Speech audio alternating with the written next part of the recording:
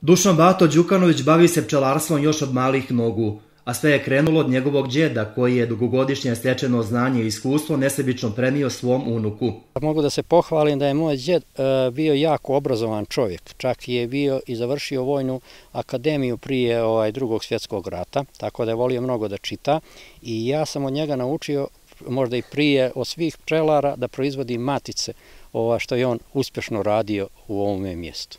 Pčele moraš da poznaješ i voliš da bi radio sa njima, kaže Dušan, pojašnjavajući zašto je pravi pčelar i filozof i duhovnik i zašto je ovo zanimanje postrek za lični osjećaj slobode, zadovoljstva i sreće. Ljubav je čudo.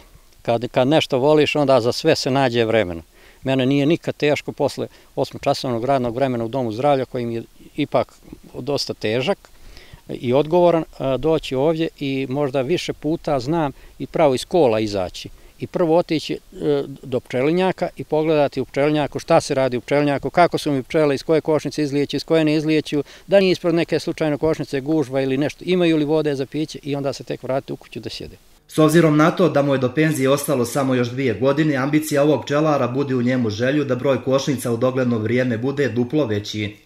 Svakako da će broj da raste. Sad posao je obaveze uh, ovaj, tako da ne mogu za sad pro, ovaj, povećati broj, ali sve se nadam, još su neke dvije godine do penzije, pa se nadam posle u tim penzionerskim danima da ćemo malo povećati broj košnica i čak i možda još nešto ovdje nabaviti da se još nečim bavim, jer ja definitivno ovo mjesto ne mogu napuniti, ja, napuštiti. Ja imam kući u gradu, odnosno u Kličevu, ali to je mene usad prostor. Zaselak Zabrnjica, gdje su smještene košnice našeg sagovornika, pripada mjesnoj zajednici Lukovo, koja je od grada udaljena svega 8 km.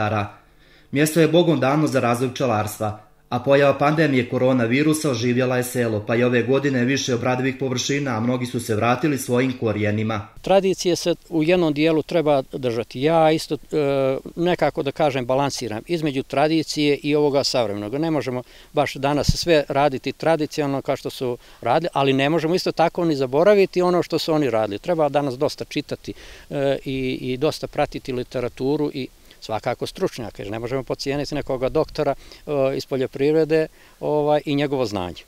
Pčelarstvo mora da se voli, zaključuje Dušan i podsjeća da je med prehrambena namirnica, koja ne može da se pokvari, ima bogato hranjivo i antibakterijsko dejstvo.